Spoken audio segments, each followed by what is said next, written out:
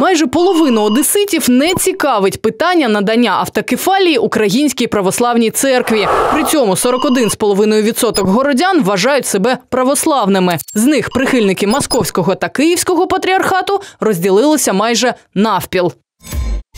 В медіа активно обговорюють рішучі дії президента Порошенка щодо отримання автокефалії Української православної церкви. Як показало дослідження Європейського інституту соціальних комунікацій, в Одесі це рішення підтримують 13,5% городян, 17% ставляться із негативом. Соціологи визнають, що питання автокефалії Української православної церкви політизовано. Як показує практика, зрощення сьогодні політичного і релігійного дуже висока.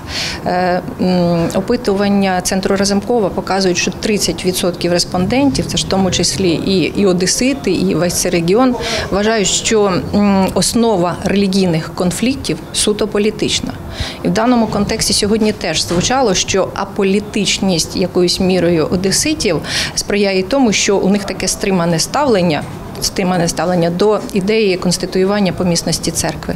Чи потрібно, чи не потрібно, але як на мене, і достатньо можна підняти, знаєте, знову ті цифри, але достатньо вагомий відсоток визначає, що потрібно робити, Е, тобто потрібна помісна автокефальна православна церква на теренах України.